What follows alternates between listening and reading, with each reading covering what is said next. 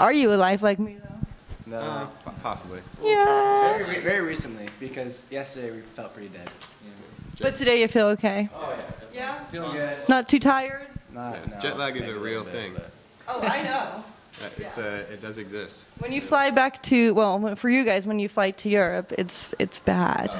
It lasts about a week for me when I go back home. Really? It took two days. Two Yeah, I days. think I beat then it. we're. Well, that's pretty good. Is this your first time in Europe? Yeah. Tell me about it. How do you like it so far? It's definitely great. a culture shock. Yeah. But we Yeah. love it. Yeah. Architecture is mind blowing. Like Yeah. just looking at all the buildings and stuff, it's like Amsterdam has been like the most Yeah. like European, and like when we think of like Europe, like this is definitely. We've only been here for like five hours. Yeah. yeah. Yeah. What have you guys done today in Amsterdam? Uh, we drove through it and then came here. We park. We parked. Yeah. No. Not yet. We had to do. We did Not sound check. I think Yeah, wait, we do we have a day off tomorrow. tomorrow? Yeah. Yeah, we're staying here. So we're gonna do a lot tomorrow here. That's fun. There's a couple of really good places. Like you go to the red light district. You know. Yeah, You go to uh, Dam Square. There's a you know lots of statues there. Go on like a canal cruise. I suggest you go on one of those. Oh, Oh, Yeah. That's awesome. Definitely. Hey, so you guys, um, first European tour with Crown the Empire. How's the tour so far? How's you know the response from people in Europe for you guys? It's great. Yeah. Every every time we tour overseas, like the the crowds are always really receptive and they love, you know, American bands and all the people in the bands are awesome people, so it's just a really great Getting tour. The chance to be somewhere so far away and seeing people singing your lyrics and Oh, it's, yeah. it's the most amazing feeling. The That very first mind-blowing. night, like I had like a pretty emotional experience. Yeah, like, me I saw you, you're just like, I, I, I mean, I don't know. I saw one person specifically, and they were just like singing a song. It wasn't even like one of our singles. It was like one of the other songs that we like that mean more to me almost, but like not that weren't pushed as hard on the internet. But just singing along, and it's just like, damn, we're a long way from home. Yeah, it hits you right, right here. Right in the Yeah. heart. Right in the heart. So you know Europe and everything. Um, the fan base. Do you feel like it's growing the more and more shows you're going to play on this run as well? Like, how do you see that on like social network and everything? Do you have a lot of fans over here? um, yeah, we have quite a few Yeah. like people tweeting at us and Yep.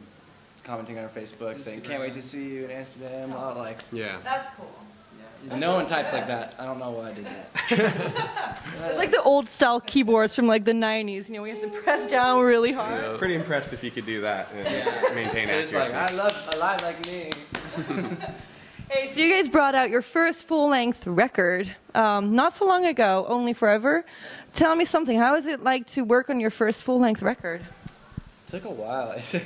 yeah. we all moved in together and Yeah. just wrote, wrote the record, and uh, then we went over to Brian Furlot, Rain City Audio in Portland, Oregon. Shout out. And, Insert plug here. uh, and then uh, you know he helped us polish them out. And how long do you think that was? The, the whole 60 process. days Oh, it was more. was it was 60 days in the studio. 60 days Yeah. in the studio. and but- we put in more because we did we were planning on it being an EP. So we did in like initially we put studio time into into that before we even knew we were going to be signed or knew that this was going to be a, like a full length release. But so the entire process has been a year and a half in the making. Probably. Can you go into detail a little bit about the writing process of an album for you guys?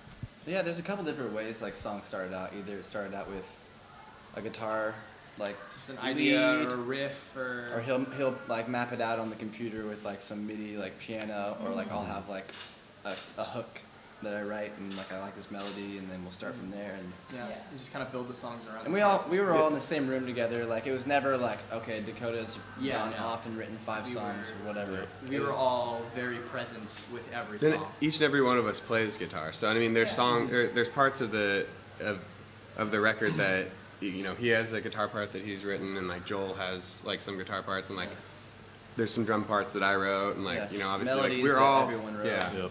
yep. It's been like a giant collaboration between us. So. It's truly just us Yeah, as musicians. Do you feel that shows in your music as well then? definitely. I think that that's what makes a band really is For sure. the uniqueness of each person Mhm. combining into this one thing. Melting Yeah. pot. Mhm. So how do you try and stay yourself in your music industry that's like so forceful with like certain things and everything? Having having passion and drive towards you know being yourself and being an individual and Yeah. just staying true to that. It's it's definitely. I feel like it's easy just we all grew up listening to different music, and uh, so as far as like influences go, like there's a lot of like different stuff on the record. But Yeah. like, to, in order to be yourself, like I don't know. It, it's, We know what sound we're going for. We, we wanted to play music that we like to listen to. Like, we've all been in bands in the past where we would write music that we thought would be fun to play live or we thought was like trendy enough to be cool. But like, when we set out with this band, we wanted to write music that we actually liked ourselves. So, yeah, You can go in your car and exactly. play it We want yourself. songs Yeah. we can Oh, yeah. sing along to. You know, literally like jam our record. Yeah. That's a good thing. It means you like it, right? It's important. Hey, so tell me something. Who writes the lyrics in the band here, or do you all mix it together? Uh, a little bit. Yeah, Jairus writes most of them. Yeah. And then we go in and like fix little things here and there. Oh, what rhymes with this? That sounds cool. Or Right. Can you tell me something about the way you write your lyrics? Um, you know, sometimes like I'll just like write a whole song in like five minutes because it's just like there, there's energy that that just flows that I need to get out. And you know, sometimes it's more methodical and more like da da da da da. Hmm, you know, and and like it takes like weeks to write this one part. Yeah. You know, but I think like yeah, just it just just comes out sometimes. And as far as like uh, you know, like topics for the lyrics, it's like we sat down and we like consciously made sure Yeah, that the record was well rounded and that we had songs like that covered certain things and mm-hmm. weren't we weren't too redundant about our topics. So mm-hmm. Mm-hmm. and it all kept like a very positive and uplifting theme throughout the whole Exactly. record. yeah, too. we definitely want people to have that feeling when they hear music. Yeah, because I was gonna say, like, because you say, you know, you, you kind of put your lyrics together in that way. But what kind of theme would you say your album then brings out? You say positive and happy, but anything else really surrounding that, like? In general. Um, a lot of a lot of stuff came out about um, like wasted time, wasted time that we spent um, not doing what we love, wasted time that we spent you know with people Yeah. that weren't necessarily the best people to spend time with. Um, I think we really want people just to just get on this road of like of positivity Yeah. and, and direction with their life and just do what you want. yeah definitely It's important do what you want. You can't sit around wasting time. Exactly, not doing what you want to do. Um, so, how do you guys try and promote a new record yourself? Like, I know management and whatnot does a part as well. How do you guys do that? We have like certain things, like certain venues that we want to like put our music out on. Like we want to make sure that we have like we release our music on like the Rise page because that's like the biggest the biggest push as far as like you know like promoting our band goes. And then we make sure that we do other things like keep our Facebook up to date and all the social media and that kind of stuff. We suck at that. yeah I know. Do you guys do it We yourself? do. Yeah, Yeah. we try and post we, as we much stuff as try to possible. do it. we used to go on Omegle Mm-hmm. Oh, the little. Do you, oh God, that came after Stickam, didn't it? Do you remember Stickam? oh yeah Yeah. That is old school. I know. I, I miss Stickam. oh I do too we should make a new one I, make I a was talking to one of my friends about it the other day. I was like MySpace and Stickam, and it's all gone. Yeah, I think I think MySpace needs to come. Yeah, back. MySpace was yeah, it was had more personality than Facebook. Facebook, so And then, and then Chat Roulette came. Now that was awful. Do you guys remember that? Oh, next, next, next. next, next. Okay, next. Like, I'm just gonna, oh, No, yeah. like, I'm That just, is- I'm just gonna go somewhere else. corner of the internet where things should not like Yeah. no. Don't go there. But yeah, how do you? So you try and stay in touch with fans via Facebook and everything. Is there anything personal you try and do to talk to fans and you know stay in touch? Well, our personal accounts for sure, like our Twitter accounts and stuff, will have DMs from fans, and Yeah. we try to. Yeah, we always stay- reply. Yeah, definitely. Always reply. Twitter's always, great for that. Always favorite, retweet. You know, Yeah. things that make people be like, oh, you know, they Re- notice. uh, like, yeah, regramming of course they pictures from shows that uh, fans post on Instagram is a big thing Yeah. too. Just like it. Yeah. Like, oh my God, you like my photo. Like me, uh, like, like, like, like. Yeah, seriously. Yeah. Hey, so how do you guys try and um, push your boundaries? You know, musically, personally, being in a band. Push our boundaries. I'd say for yeah, for me like, um, just getting better at like my craft and singing uh, is an everyday like struggle. It's an everyday reoccurrence and getting vocal lessons and like spending hours and hours like researching like proper technique and blah blah blah. I think mm-hmm. I think definitely pushing boundaries with Just that is improving it. necessary. Improving at songwriting too, Yeah. just like Yeah, understanding like structures and like how mm-hmm. things like flow together and like once you mm-hmm. understand it, you can manipulate it in cool ways. But like, there's like, definitely you cannot be good enough at like songwriting. I think so. It's tough. Yeah. And music theory. Are you bad at music theory, all of you? Or? We're okay at it. I don't have Definitely. any music theory.